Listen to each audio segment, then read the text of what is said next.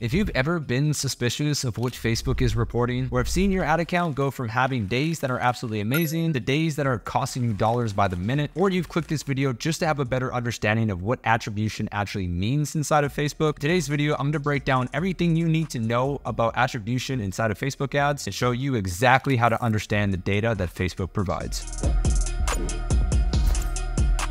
What's going on everyone? It's Spencer here. If you're new to the channel, I actually run a growth focused agency by the name of Easy A Media where we help multiple six and seven figure Shopify brands scale their sales profitably. And in today's video, like I mentioned at the beginning, we're gonna be diving deeper into Facebook's attribution and how to actually understand it so that you can scale your ads effectively and actually figure out whether or not your ads are really performing. At our agency, we work with all different kinds of brands. Some of our brands solely rely on Facebook ads and we can measure pretty easily whether or not our ads are having an impact on total sales. And then on the other side, we have some brands that have a massive organic presence and Facebook ads really don't have as much as an impact on their bottom line. But no matter your scenario, it's so important to make sure you can clearly understand the data that Facebook is reporting so you can make better decisions based on that data that you have to grow your business a lot more efficiently and ultimately make more profit. Now, with that said, let's go ahead and dive into the screen and a little bit more about Facebook's attribution models. We're now inside the ad set level and I've gone ahead and just created a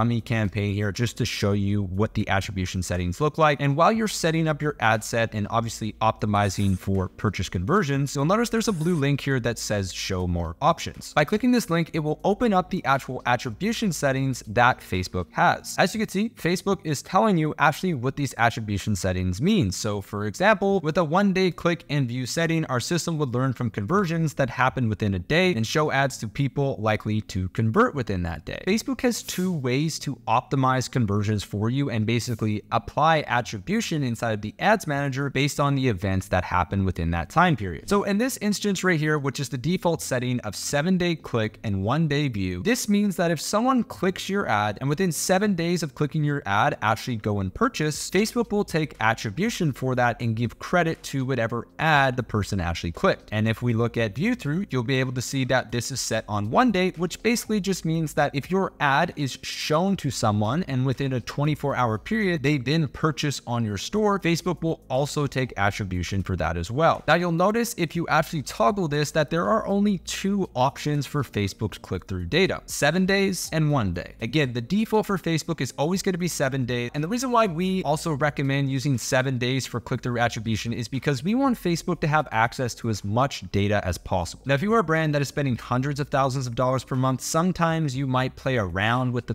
attribution and actually move to a one day click window. But for most people, you're just going to want to stick on seven day click through attribution, which is going to be, again, the default and what we recommend to use inside of your ad account. Now, if we look at the view through attribution, you'll see that there's the option to select none or to select one day. And again, because we want Facebook to have as much data as possible to work with, we always recommend using one day view. We have tested just seven day clicks and zero view through attribution, but we find that just leaving it on the one day view helps Facebook Facebook continue to learn and optimize with the data that it has. Now, there is a new attribution setting down here called Engage View, but that's only on specific accounts, so you don't have to worry about this for now. The main point that I want to get at with all this is there are four attribution windows that you can use, seven day click and one day view, seven day click and zero day view, one day click and one day view, one day click and zero day view. We have tested all of these different attribution combinations, and we have found that seven day click and one day view always leads to the best overall results. Now, for all of you that are currently running ads, no matter what your campaign structure is Facebook will report results or purchases within that attribution setting. So again, if someone clicks an ad on Monday and purchases within seven days of clicking that ad, so say for example, they purchase on Friday, Facebook will then report that as a result inside of the results column here. If someone views your ad on Monday and then actually purchases Monday night, Facebook will also apply attribution inside of this results column here. Now, this is where most people will stop, but because we're going to dive in deeper, I'm going to show you how to actually see view through versus click through data right inside of your ad account. So what you're going to do is you're going to click your columns over here. If you don't see it, then just click the three bars and you're going to scroll down to the bottom and you're going to click compare attribution settings. By clicking that, it's going to pull up a tab that says, would you like to look at one day view, one day engage, one day click, seven day click, or 28 day click? What you're going to select is one day view, one day click, and seven day click and click apply three comparisons. Now you'll notice Facebook is actually going to divvy up all of this data based on each attribution setting. Now you're probably wondering, why do I care about this? The reason why you should care because click-through data to us at the agency represents and shows us that our ads are actually getting clicks and are actually leading to conversions compared to ads that might just be running in the feed to existing customers and not really doing a whole lot other than collecting attribution. If someone is clicking your ad and purchasing within 24 hours, that's a pretty powerful ad. And the reason why that's important is because we've realized that the agency that will will dictate how scalable your ads actually are. And if we do some quick math and do 134 divided by 214, you'll see that about 58% of our purchases are actually coming within 24 hours of people clicking our ad. That's a pretty solid ad. And you'll see here that only 49 of our 214 total purchases actually came from this one day view attribution window. Now, if we dive deeper, we can actually see our CPA per attribution. Again, our total blended CPA here was about $60, but our CPA on seven day click was about 77, which again is a good number for us. And we'd like to see that our click based attribution data is leading inside of the ad account. Because again, if you're getting people to click your ad and purchase, that typically means they're more effective ads. And just to be clear as well, if you add up the seven day click and one day view purchases, as you can see, you will get the total amount of purchases that Facebook has actually reported. And you can also see over here the splits between everyone's favorite return on ad spend. So inside of here, we can see that in total, this account was at a 3.18 return on ad spend, and 0.57 of that came from view through attribution, and 2.6 of that came from click based attribution, which tells us again that these ads are probably going to be a lot more scalable compared to another account that I'm going to pull up right now. Now, if we take a look at this account over here, you'll notice that last week we had 140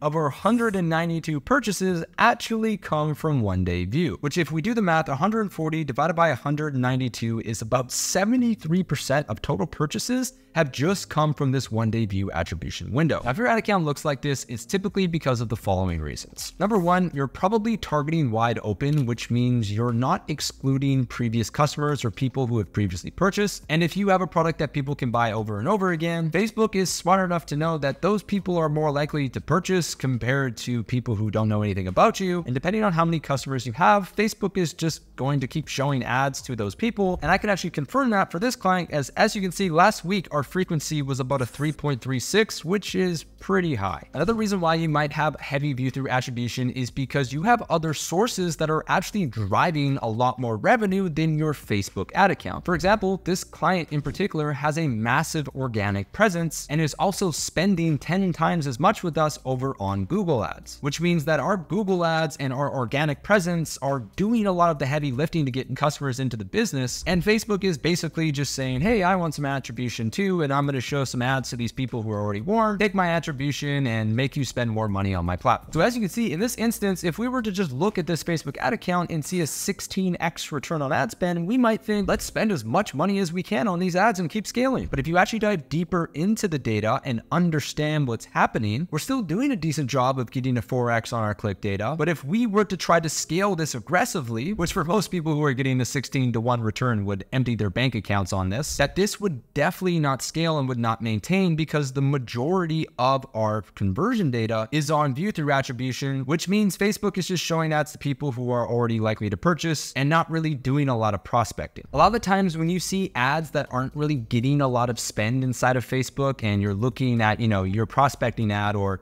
the bad ad that has a lower return on ad spend, and that ad that isn't getting as much spend has a prettier return on ad spend, most of the time it's just view through attribution that that ad is picking up. And the ad that's getting more spend and is having to do all the work has a lower return because Facebook is forcing it to prospect, where the other ad that just gets a lower amount of spend and can be shown to the same people over and over. Now the question is, is how do we overcome this and how do we force Facebook to get us more healthy click data compared to just hogging attribution all the time? Well, if you ask us, there's basically three ways to do it. Number one, you can create better ads. And by creating better ads and having a better strategy on the ads that you create, Facebook will actually take those ads and do a lot more prospecting for you, which is exactly what happened in this account when we launched a new DCT and it started taking all the spend and actually started outperforming. The second thing that you can do is you can force Facebook to start doing more prospecting for you simply by excluding previous and past purchasers. If you're wondering how to do that, just download your customer list from Shopify or create a custom audience using the Facebook Pixel and just make sure you exclude that audience inside inside of each and all of your ad sets. And the third way around it is you can install a third-party attribution tool, which my favorite is Triple Whale Analytics. And as you can see, we're now inside of Triple Whale Analytics, and we're actually going to have a little bit better attribution and more freedom on moving around our attribution models. Inside of this account, we are currently looking at triple attribution plus views. And over the last week, we have been at a 20.78x return on ad spend, which is actually higher than Facebook reported. But with the click of a button, we can go to triple attribution and now get way better insights on what our click attribution data is, which over here you can see has now cut this return on ad spend in half. And now for my favorite part of Triple Whale and why I recommend clients who are omni-channel or are getting heavy view through attribution to actually go ahead and download this for their brand is because you can use their total impact model, which will actually chop it down even further and give you a way better understanding of the impact your ad platforms are actually having on your business as a whole. And if you want to see more information on this, I actually have a video on this on my channel, which you can check out using the link down below. And now by using a model like Total Impact, you'll be able to see that as much as I would love to tell our clients that we're at a 22x return on ad spend, the reality is is we're closer to a 4 to a 5x return on ad spend when considering all of the other attribution sources in this client's business. Because as you can see, a lot of their sales are coming from SMS and organic, which if we're taking credit for what these other platforms are doing, which Facebook loves to do, can lead to us wasting money and scaling ads improperly, which is something that we see so many brands do on a day-to-day -day basis. So again, the reason why it's so important to know your numbers is number one, you want to have confidence when you're scaling your account. You don't want to be scaling data that is based off of other channels. You want to be scaling Facebook based off the performance that Facebook is actually giving you. Number two, you can end up wasting a lot of money on platforms like Facebook simply by thinking you're getting a better return than you actually are. And number three, if you're working with an agency, you might be getting overcharged like crazy based on performance that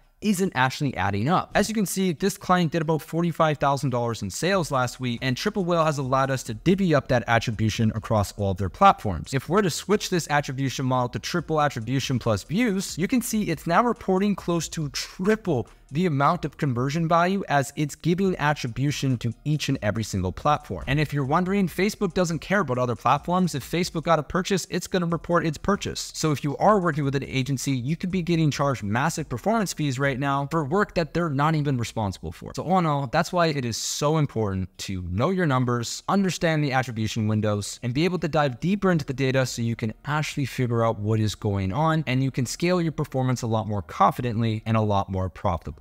So that's all I have for you today. If you enjoyed this video, I just ask to click the share button down below and send it over to someone else who you think could get value from this video. By sharing this with a friend or someone else that you know in the space, it can help you provide value to someone else. And as always, if you're a multiple six or seven figure Shopify brand looking for the help of a growth focused agency, I'd highly recommend book a call with me down below to get your custom growth plan. With that said, thank you so much for taking the time to watch this video. I hope you got a lot of value and I will see you next week.